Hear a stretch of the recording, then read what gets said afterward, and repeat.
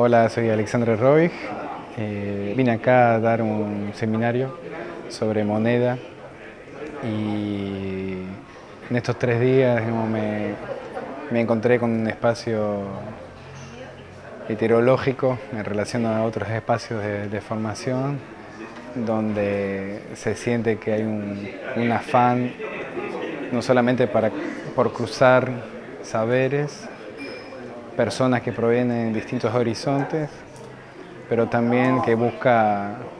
profundizar y consolidar un, espacio que tiene sus tradiciones dentro del mundo intelectual, pero que todavía tiene pocos espacios y un espacio como la Facultad Libre de Rosario debería pensar sus condiciones para sostenerse en el tiempo y para que pueda llegar al máximo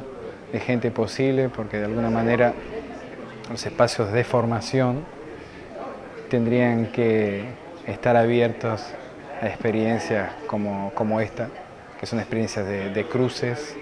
y que con la esperanza de que en esos cruces haya productividad, creatividad, innovación.